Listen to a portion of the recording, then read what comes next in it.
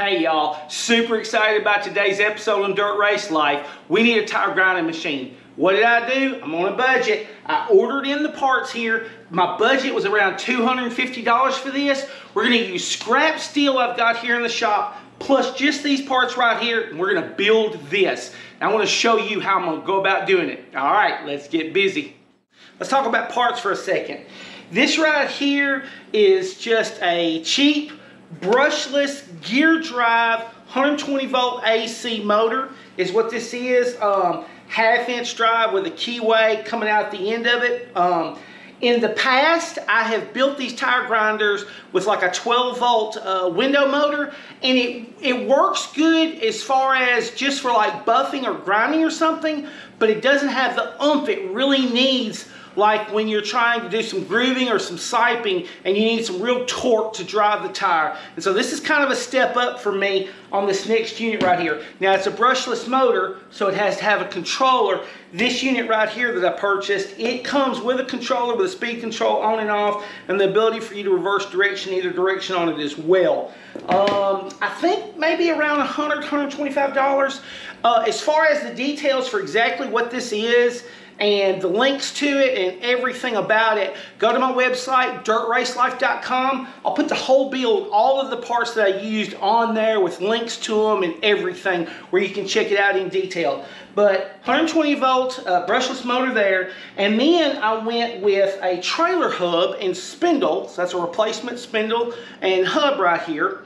And this is five on five, because that's what we're doing on this one. And this is, of course, way overrated, but cost-wise, it's like about $50 for this, with bearings and everything you need. So by far, cheapest way for me to do this as well. And, of course, I'm going to take and knock those studs out and put 5 eighths in. You know, that way I can use some one inch lug nuts, just quick on and off. And when I put the uh, put the 5 8 studs in, I'm just gonna put three of them. I won't put all five because this is just for a tire stand, grinding stand. We don't need them. And then the other part is the sprockets. I went with number 40 chain sprockets right here. So this is the drive hub. And I think this is like an 11 tooth and maybe like a 39 tooth. Again, I'll put it all on my website, exactly what he used. And I did want to point out that probably the most challenging part of this is, you, you know, as far as like doing this yourself at home um, with just garage tools versus machinist tools. This right here is where the challenge is at because you need to attach the sprocket to this hub in a way that you can take this on and off and that it's in the right location. And in the past, what I've done is I've welded this stuff up. But then if you need, you need to change the ratio, you need a little more torque, speed difference, something going on there, you don't have any options. And you don't have any adjustability. Wherever you fix this, you've got to make sure you mount everything where that you can make your chain line up and work and stuff. And so I think I've come up with a solution for that that I want to show y'all for how to mount this in a way that make it removable, but without having to have a machinist tool. But by far, this is what you got to really look at. You got to make sure you've got a plan for how to put these together. Um, the chain, the studs, that makes it up. Again, I'll put everything, links to it on the website itself. Now let's talk about that scrap steel we're gonna use to build the base. So basically what I did was I just looked in the rack to see what I had and I have a 10 foot stick here of inch and a half 14 gauge square tubing that I had bent by accident because for some reason I thought it would make a good pry bar. It didn't make a good pry bar. But we're going to use this for the base, this 14 gauge inch and a half right here. Cut it up, make the base. And the other thing I want to show you is we're going to need some pieces. We're going to need a plate to mount that motor. And I've got a piece that's a piece of scrap off a car. I think this is like off of a bumper mount right here. But it's good and solid. It's rusty, but it'll clean up. And I think that piece right there would make a good mount for that brushless motor where that I can have it on a pivot where I can tighten that chain up. And if it won't, then I've got a piece of uh, 3 16 right here I can use. And then I've just got some odds and ends here if I need to make a, a mount or, or some little piece or anything like for the holder, for the controller, whatever. I just want to point out, we're just using scrap steel. We're going to order the parts we need, tight budget here, use what you've got, come up with a plan for it. So, what's our base gonna look like? Here's what I'm thinking. The tire, this is on edge right here. I want that tire to be mounted with the top of the tire 42 inches off the ground. And the reason that I'm going with 42 inches is because I want it to be high enough where that I can stand up and run a grinder or a siping tool or something and be standing and be comfortable. Um, and hopefully it's low enough so that I can put the grandkids to work and they can reach the top of the tire from there. So I'm going with 42 inches. Um, on average, my tires are 28 inches tall, so that means I'm 14 inches down from there for the center. So this spindle is going to be mounted at 28 inches for that piece right there, that tube to the ground. The way I'm going to do this base, I'm going to do this like an inexpensive tripod engine stand, if you know what I mean there. I'm going to have a leg that goes out forward, farther than the tire, so I'm probably going to make like a 24 inch leg to go out and then I'm going to make 28 inch leg and let's see if I looked at it on end so like if I looked at it on end it'll have a leg that goes out sideways. And I'm going to make that 28 inches so it is as wide as the tire 28 inches across. So just a three-legged device.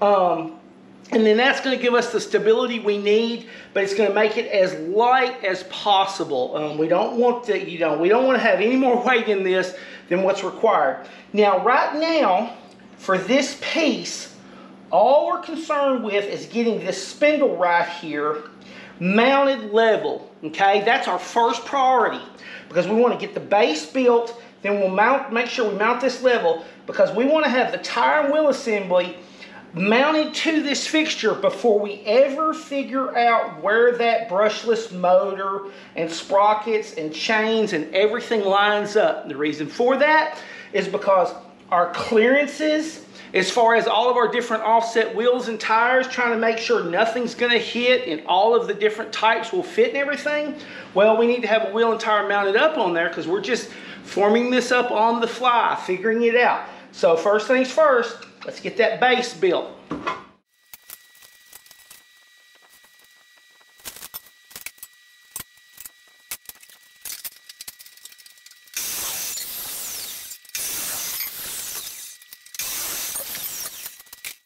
All right, first one welded up here. Of course, this stuff, it doesn't have to be perfect, y'all. This is, this is not, this is not perfection.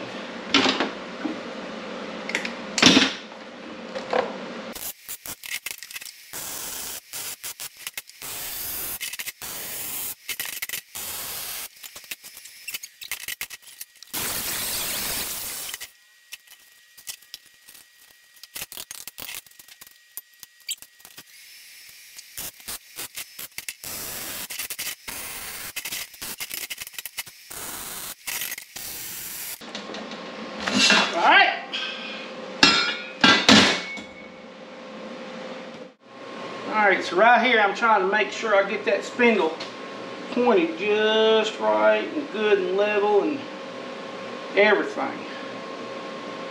Get it all just like I want. Spot there. Check it out. Make sure it's, oh yeah. Oh yeah. That's where I want it.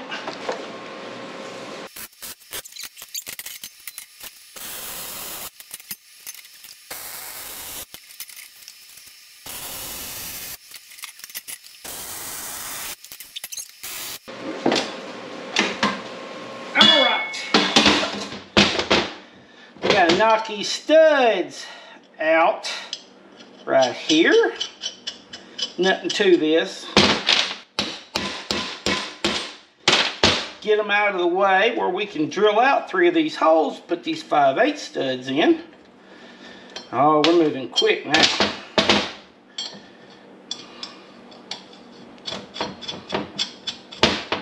Oh yeah.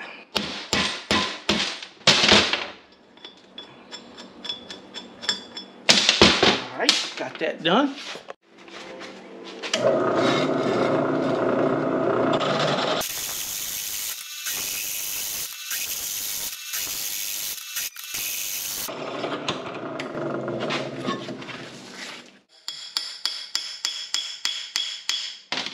Course, I went ahead and drilled all five out while I was at it. That way the hub would be uniform all the way around. But you see, I didn't put but three studs in it. I mean, you could put five if you wanted to. It wouldn't matter. But just for a tire stand, I just don't see the need in it, so I never do. All right, and they're in and done and this is ready. I'm not to put the seal in it right now because there's to be a little bit of welding later that's to go on on this hub right here. Even though it's cast, we're to spot some stuff on here. Um, so we're to leave the seal out until all of that's through. Um, and we're just to put it together dry. I'm not to put any grease or anything in it, but we're to be able to get a tire mounted up on it and see how this motor is going to mount. All right, so I went ahead and took that paint off the backside because that's to get some spot welds on it. Throw this joker up on here. Like I said, everything's dry right now uh, because it's going to come back apart and get a seal and everything when we're done. And then when we do that, we'll throw some grease in there. It won't take much grease, but we'll throw a little bit of grease in there.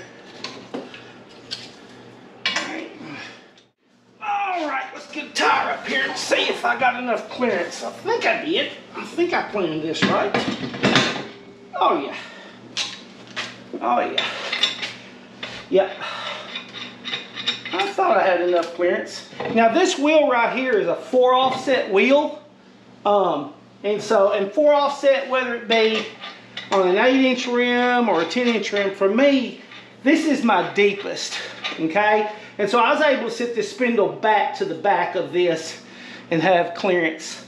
But, um, you know, you don't have to. I mean, the spindle could have been mounted to the face and welded up. You could have done it. made it easier for me to get it level doing it this way. But if you need the tire clearance, you know, you could go to the face. You need to check that though. You need to pay attention to it. And, um, you know, and there's nothing that says that I couldn't put a, a one inch spacer on the front of this hub. I mean, if I needed to for some reason, if I ever like, I don't know, had a five offset maybe. Of course, I can't run a five offset. I don't think it'd clear on my cars anyway, so.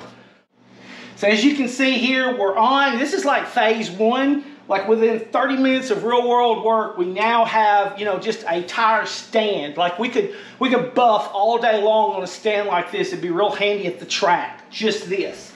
All right, but our next, step two, is to put the drive on. And the way we're going to do this, it's really not that bad because what we're going to do is we're going to put the sprocket onto the back of the hub first, put our sprocket on our motor right here, and we're going to figure out hanging the motor in here. Now we want the motor to be as close to the center and as low as possible just for center of gravity, make it more stable. But we're going to figure out where this will sit and cut the chain so that we get a piece of chain. We're going to hang it in the chain and from that we're going to be able to figure out what should the plate look like. Cut the plate, put the adjuster slots in the plate where we can twist the motor on it to adjust the chain and then we're literally just going to weld the plate up onto the spindle right here. And we'll be done. And doing that, I mean, don't get me wrong, a little bit tedious. Put a level on here, make sure the chain's got good alignment and everything going on there. But literally, that's all it is to it. And then beyond that, we just got to figure out, you know, how do we mount the control box, you know, and wire it up and everything like that. So let's go on to step two. All right, let's get to some good stuff here. I said getting the sprocket onto the hub was by far gonna be the biggest challenge. And I had really, you know, studied this. I welded some directly on, trying to figure out how do you go about doing this out of your garage at home, you know, without a full set of machinist tools and everything to like fabricate components to bolt together. It's a real challenge. All right, so you've seen I've cleaned this hub off right here. This sprocket if you'll notice, I have taken and I've got four 5 16 2 inch bolts in this. The faces, the hex face on them, I have got the flat turned toward the middle all the way around. Each one of these, the flat is turned toward the center. And I figured out the brand of sprocket and the way one was made where I could take and bolt four bolts up like this and drop them on and I can attach those four bolts to the sides all the way around. Let me show you. So I can attach those bolts, spot weld them up, and now I've got a removable sprocket that's not had to be machined in order to do it, and I've got adjusters on it to where that I can adjust my sprocket in or out, and I can correct if it's out of alignment. so like, it works. Um, so we're gonna put this on and I think it's gonna be just beautiful. It's a beautiful way to solve the solution at home out of the garage. So really excited about it. Let's hope it works out as well as I'm planning it for it to. All right, so I made up some spacers right here. This is just some three inch grinding rocks because all I'm wanting to do is I want to have something that I can sit on there in order to make it sit parallel to start with. Because I want all my bolts to be parallel, you know, on the same plane around to start with where I'm not have adjustments different right off the bat. So got some, just put some grinding rocks in there to create a spacer and I'm gonna hold it down and I'm gonna spot it up and that's gonna be ready to go.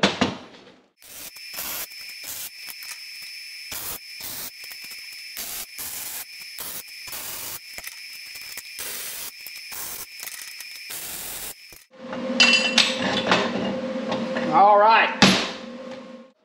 This is gray cast. I am going to say this right up front. Yes, this will crack and break when welded and got if you get it super hot in one spot, you know, it can crack on you and break. All right? What I'm doing here, no, it's not going to be a problem. If I just went crazy and kept welding and got this, you know, cherry red in a spot, you know, all at once really quick, and then it cooled down really quick, you know, it could. But this small amount like I'm doing right here, it's not going to be a problem. The amount of pressure that this is getting put on it, as far as these being brittle, because where the weld goes into the cast, it is going to be brittle around that weld. And that's why like you'll use a nickel rod and stuff, because the nickel is soft um, and it helps it to, to bind to that cast um, without creating a lot of tension right at the weld point. Um, you know, that's why I use a nickel rod and stuff. It would be better if I used a nickel rod. I just don't feel the need for it for this. But uh, you've been warned. You know, it is a risk. I think it's very minor. I have no issue doing it, especially for something that's not on my race car, a race part. Remember, your safety is your responsibility. But this is tire grinding stand. This isn't a hub on the car. So I treat it differently as far as that goes. The link for this sprocket, don't worry, I'll put it on the website. And what I love about this is this pattern right here is a this is like a universal pattern that I found in a lot of different brands and I can change my tooth count on this and just unbolt and bolt and it's not machined. Oh, you gotta love it. All right, so let's get it back on our tire stand.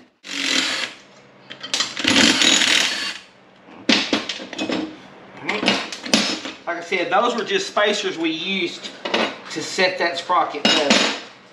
Now, the beauty of this is those nuts that I have on there. I can turn those out. What I'm going to do is, is I'm just going to back all of them up a little bit to go ahead and set some adjustments. So there is a half and one. So I'm going to set all of them out one turn. That way I got some adjustment both ways. There we go. And we can, like I said, leaving the seal off.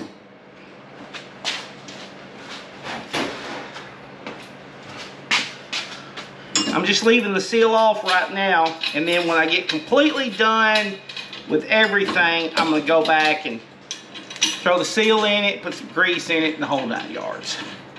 Ran into a small problem. This drive ride here that I believe was advertised as a half inch drive is actually 12 millimeter, but my sprocket is half inch, was the same as 13 millimeter. Um, so I do have a problem there. So in the meantime, I am gonna put some shim stock on here to take up my distance and it will work just fine. Oh yeah, that's tight. Right there. Put the keyway in.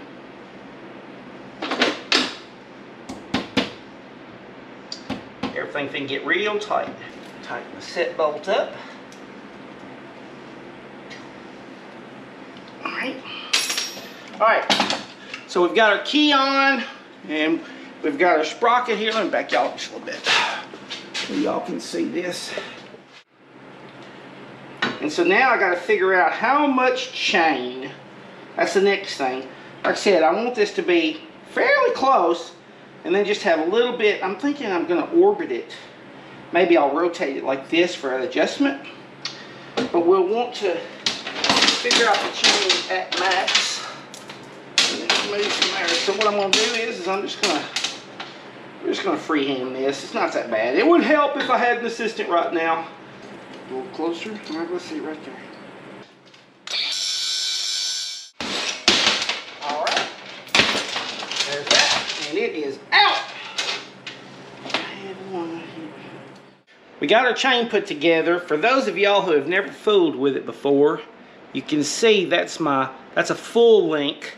And it's just a pin um, link that goes in and it's got a clip on the other side. It's real simple.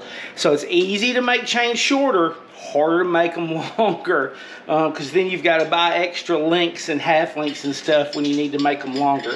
I think we're going to be able to make this work. So we'll drop that on. All right.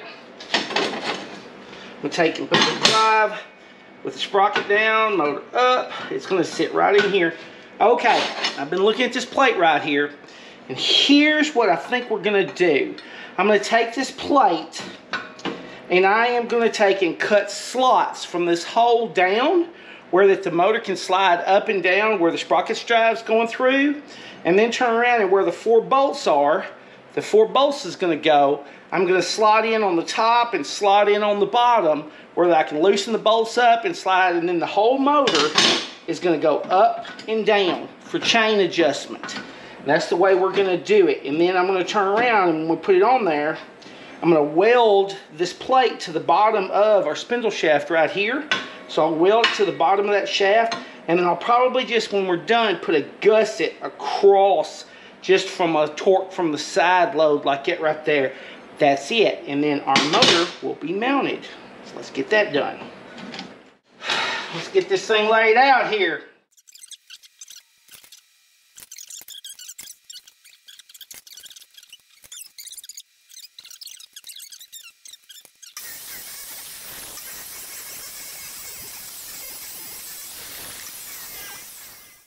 All right, looky there, y'all. I think that's gonna work.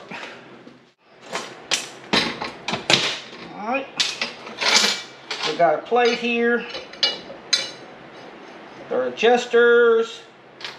Got me some flat washers I'm gonna add to make sure I got a good clamping surface. Got a washer on that one. One there. And one there probably only gonna have to put this thing together and take it apart about 10 million bajillion times, y'all. It's just part of it. Okay, all right. So I got this laid over on the side here. This is gonna go right in here. All right, now this chain won't quite go on this sprocket. It's close, but that makes sense because I need to cut a little notch out right here. So I'm gonna take a little notch until that will drop in there and then we'll set it all, line it all up and we'll weld that sucker. So I'm to take and just lay this right beside here on the shaft like that and I'm to give her a, a mark that right there and let me see I'll get a piece of tubing piece of inch and a half tubing as a guide there. That spindle, I think that spindle spindle's an inch and a half. We're just going to make a shallow cut right there. We'll make a shallow cut right there, see how that works.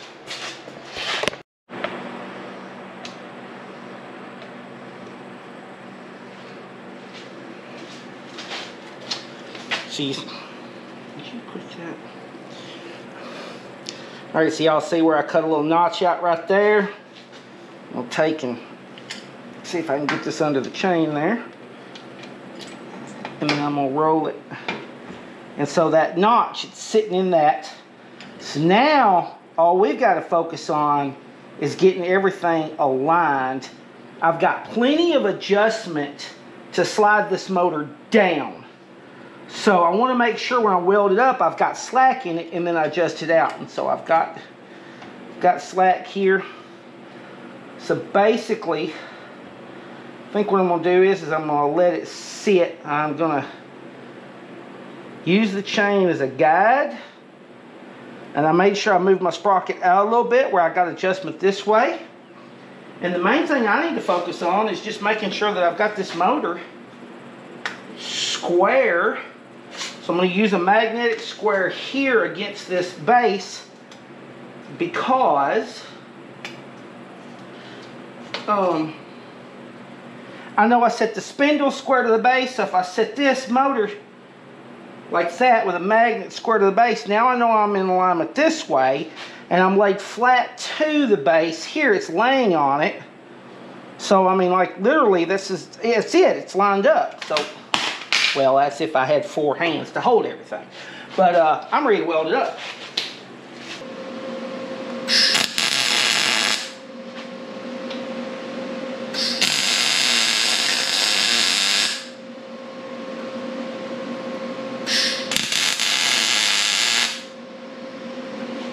Okay. So that's on there. So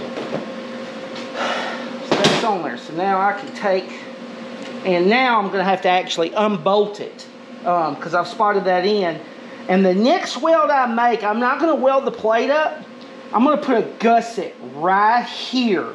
All right, to hold it this way, I'm going to put a gusset right there. That's the next move I'm going to make um, in this. And so this thing, assembly is getting more and more complicated. So like now the hub's going to have to come off, you know, as part of the assembly process. Um, but it is what it is. We're getting close.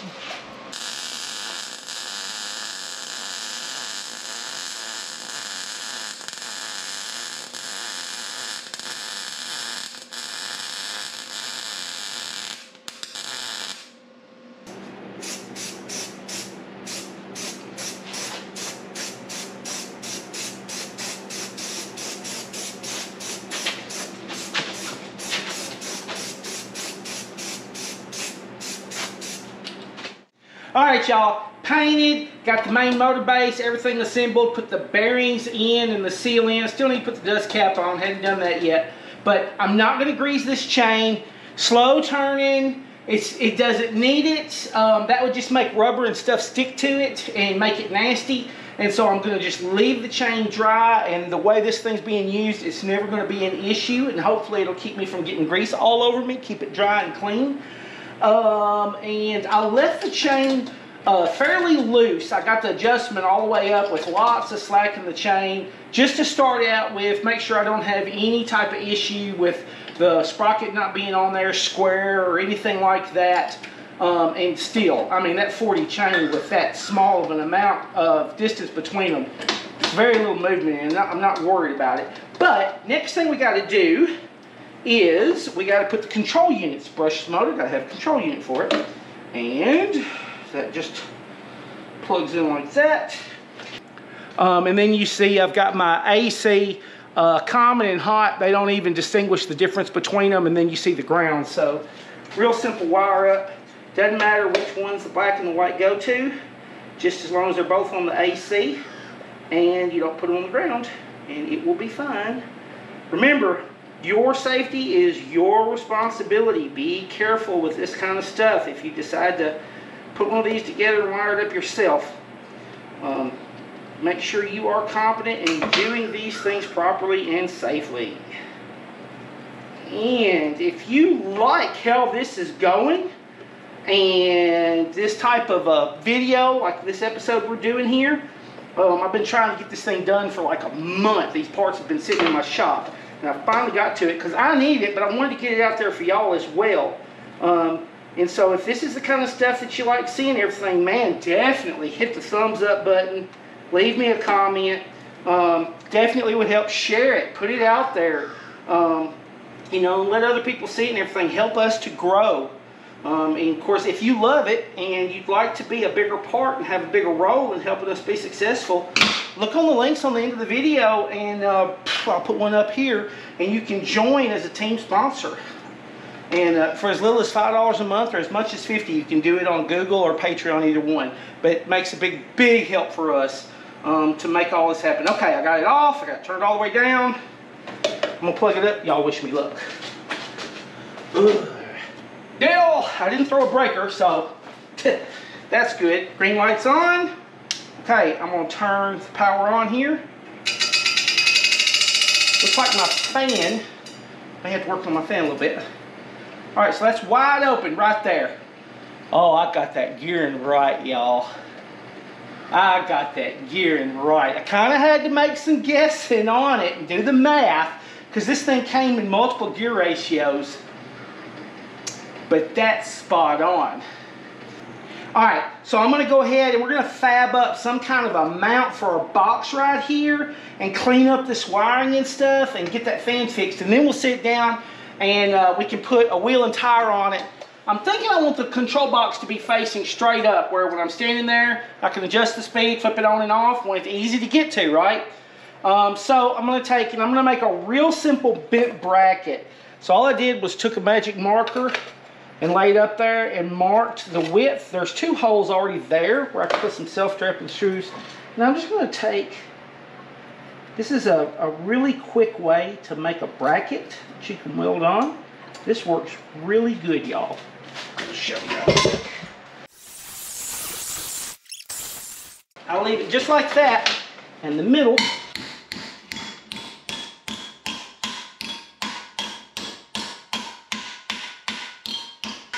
That's it. That's a bracket. That simple. And so now, that's hot. All right. So now I got where I can bolt that. And so I'm going to take and I'm going to weld that bracket up. I'll just weld that up right there. And then I'm going to throw that on there and throw a couple self-tapping screws into it. Boom. We're going to call that good. All right. Right here is where the rubber hits the road, folks. Let's see how she does making a cut. Alright. Well, at least I got my 5 on 5 studs lined up right. Wheels going on easy. Alright.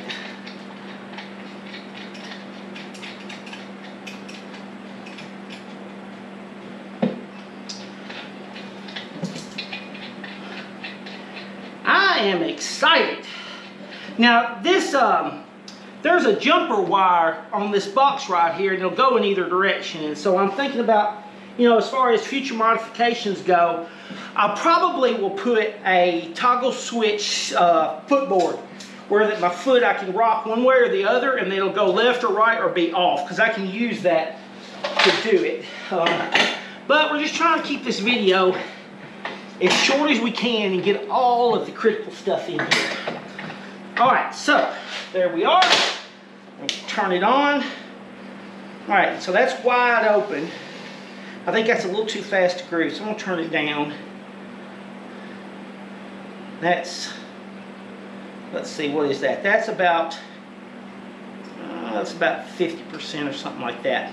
Now, obviously, I'm gonna build a drawbar across here. I am. Um, you know, I'll probably just put a bar straight out and across right here. But um, kind of want to get a little bit of time with it and see how it goes and everything before I build the bar to see. But let's just see if we can get it to, oh, that's a little fast. You have to find your number. I tell you what, I'll start at zero and then we'll, oh, torque's not an issue. Yeah, so the difference between this and the 12 volt is this is going at the speed it's supposed to no matter what. It's just going. You know, so it's not slowing down when it gets under load.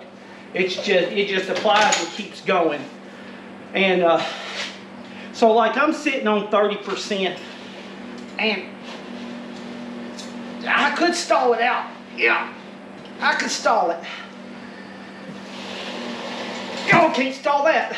Um, so plenty of motor, which is what I wanted. I wanted a little bit more than the window motors and everything. Uh, let me turn this off. Okay, important point. So like, this is a rig that is built with just mail order stuff, you know, less than $250 total and everything in it. Um, but you get what you pay for.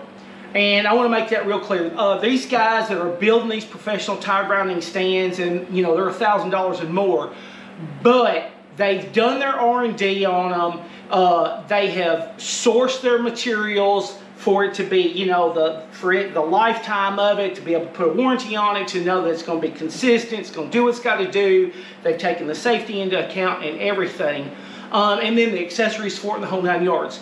So just be clear about that, you know, as far as you know, you building stuff in your yourself in the shop you know, on a budget. But just because you can build something like this for 250 doesn't mean that a thousand dollar unit isn't worth a thousand dollars. Um, it's just you know where you're at and the amount of labor you put into it yourself versus somebody else who's winning business and doing that. So just keep that in mind because it is a lot of work. But this is one afternoon. And um, anyway, it wouldn't have been nearly as bad if it wasn't 103 degrees in the shop. I hope y'all enjoyed this. If this is your kind of thing, hit the thumbs up, hit that subscribe, folks, because this is good stuff. All right, I'll see you next time.